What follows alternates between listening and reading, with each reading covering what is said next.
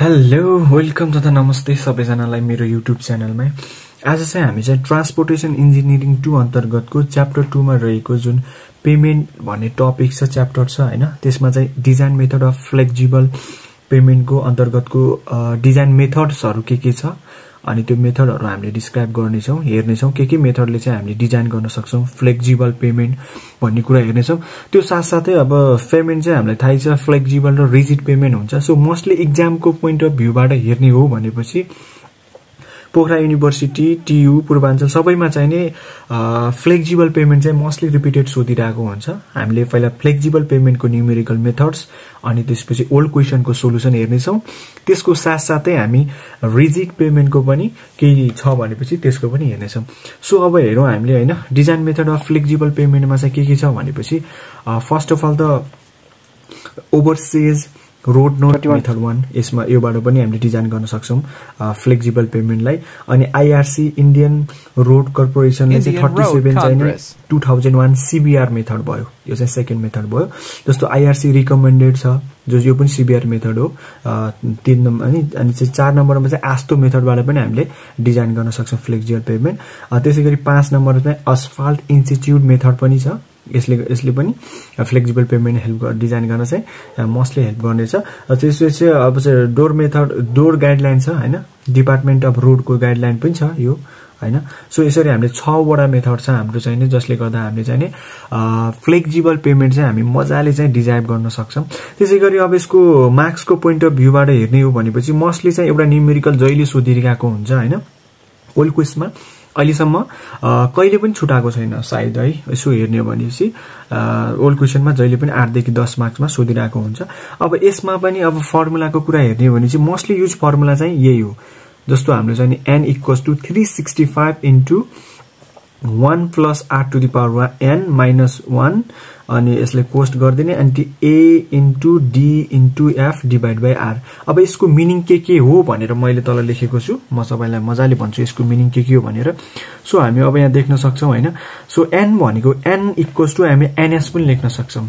यो भनेको के रहेछ भने cumulative number of standard axial load हो होइन? Community number of standard axle to be created for design in term of million standard axle load million भनेको ten to the power six so यो चाहिँ हामीले मिलियन स्ट्यान्डर्ड लोडमा चाहिँ नै standard axial load चाहिँ एनएसले जनाउँछ जसले community number of standard axial load अहिले न्युमेरिकल गर्दै जाँदाखेरि यो के हो भने आफै थाहा हुन्छ तपाईँलाई डिजाइन ट्राफिकको कुराहरू आउँछ। सो अहिले धेरै आत्तिनु पर्दैन होइन? सो त्यसपछि आर भनेको के रहेछ? त्यसपछि आरमा जाउँ। यो आरले के जनाउँछ भने चाहिँ आर भनेको annual growth rate of commercial vehicle commercial vehicle चाहिँ कसरी एनुअली ग्रोथ भइरहेको छ त? यो गिभन नै हुन्छ क्वेसनमा यो चाहिँ हामीले फाइन्ड आउट गर्नुपर्ने हुन्छ। सो इफ इफ है if growth rate is seventy five percent per annum annually चाहिँ एउटा सेभेन्टी फाइभ पर्सेन्ट चाहिँ नै annual growth rate commercial vehicle चाहिँ इन्क्रिज भइरहेको छ भनेपछि सो हामीले डिभाइड बाई हन्ड्रेड पर्सेन्टेजलाई कहिले पनि हामीले त्यसै लेख्नु हुँदैन। डिभाइड बाई हन्ड्रेड गरेर चाहिँ यो फर्मुलामा अर्कोमा चाहिँ राख्यो भने डिभाइड बाई हन्ड्रेड गऱ्यो भने so we get the value of we get the value of R which is the zero point zero seven five so त्यसै गरी ए भनेको के हो? ए भनेको इनिसियल ट्राफिक हो। सो ए भनेको के रहेछ? इनिसियल ट्राफिक रहेछ। यो चाहिँ in term of number of commercial vehicle per day number of commercial vehicle जसलाई चाहिँ commercial vehicle per day CP सिभिपिडीले पनि हामीले चाहिँ डिनोट गरिरहेको हुन्छ युनिट चाहिँ CVPD that is the commercial vehicle per day commercial vehicle per day so यो हिसाबले चाहिँ एले चाहिँ इनिसियल ट्राफिक दियो। त्यसै गरी ए को फर्मुला चाहिँ अर्को के छ भनेपछि पी पी भनेको जस्तो प्रेजेन्ट ट्राफिक दियो अनि फ्युचर चाहिँ जस्तो कन्स्ट्रक्सन लाइ कन्स्ट्रक्सन टाइम इन इयर दियो अरे है। क्वेसनमा चाहिँ कन्स्ट्रक्सन टाइम इन इयरमा दिएको छ भने कन्स्ट्रक्सन टाइम दिएको छ भने हामीले ए को value P plus P into one plus R to the power Y Y भनेको कन्स्ट्रक्सन टाइम इन इयर यसरी हामीले ए को भ्यालु निकाल्नु पर्ने हुन्छ। सो त्यसैले अब एन भनेको के हो? एन भनेको चाहिँ डिजाइन लाइफ इन इयर है? डिजाइन लाइफ इयरमा चाहिँ हेर्नुपर्ने हुन्छ जुन गिभन पनि हुनसक्छ अथवा मनमा दिएको छ भने इयरमा हामीले कन्भर्ट गर्न मजाले सक्छौँ।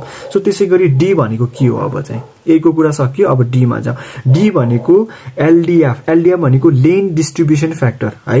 यो हाम्रो कुनै बुकहरूमा अथवा सोल्युसनमा चाहिँ नि यो के अरे यो एलडिएफलाई चाहिँ लेन डिस्ट्रिब्युसन फ्याक्टरमा चाहिँ यहाँ चाहिँ मैले चाहिँ डीले डिनोटेड गरेको छु यानि चाहिँ कुनैमा एलले पनि डिनोट गर्न सक्छ अथवा एलडिएफ नै चाहिँ राखेको पनि हुनसक्छ। सो यसमा झुक्किनु भएन तपाईँहरू है?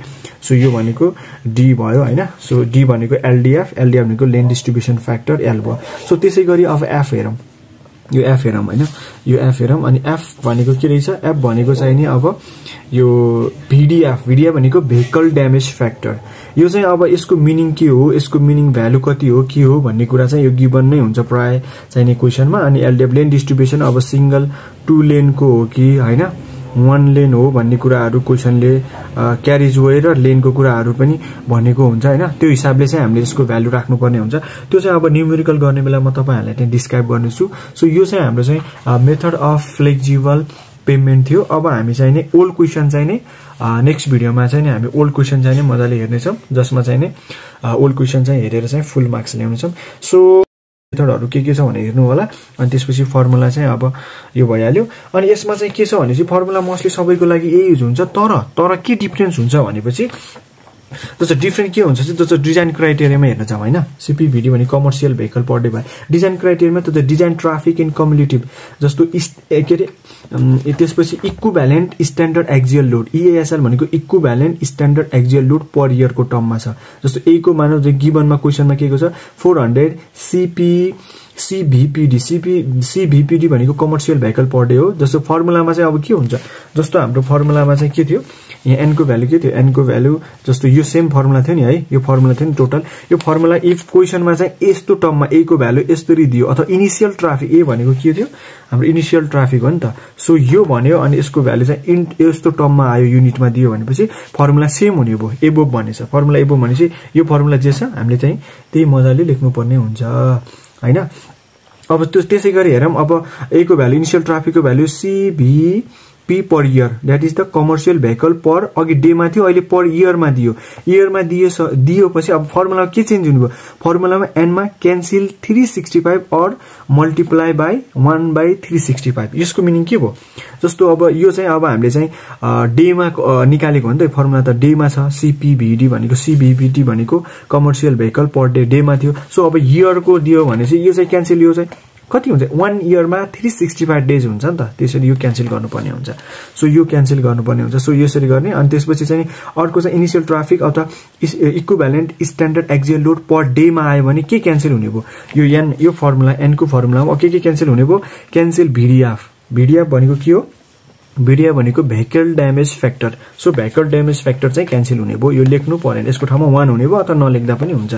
सो यसरी चाहिँ हामीले फर्मुला चाहिँ नि डिफ्रेन्ट डिफ्रेन्ट चाहिने मेथडमा चाहिँ नि डिफ्रेन्ट फर्मुला अथवा given given standard axial load initial ट्राफिकको आधारमा चाहिँ नि चेन्ज गर्नुपर्ने हुन्छ। त्यसै गर्दा इफ ए को इनिसियल ट्राफिकको value standard equivalent standard axial load for year टकमा आयो भने दियो भने क्वेसनमा।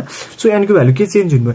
एनमा चाहिँ के भन्छ? Three sixty five and F is cancel यसको इनि क्यान्सिलको मिनिङ यो चाहिँ नलेख्ने कि फर्मुलामा जस्तो थ्री सिक्सटी फाइभ पनि नलेख्ने होइन? इफ के हो? Equivalent standard axial load per इयरको टर्ममा ए को भ्यालु इनिसियल ट्राफिकको भ्यालु दियो भने चाहिँ थ्री सिक्सटी फाइभ एफ चाहिँ three sixty five F F भनेको के हो?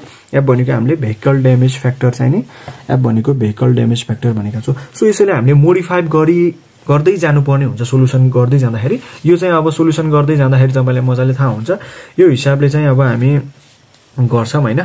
So thank you for watching अब चाहिँ नि म नेक्स्ट भिडियोमा चाहिँ ओल्ड क्वेसन सिधै सोल्युसन लिएर आउनेछु।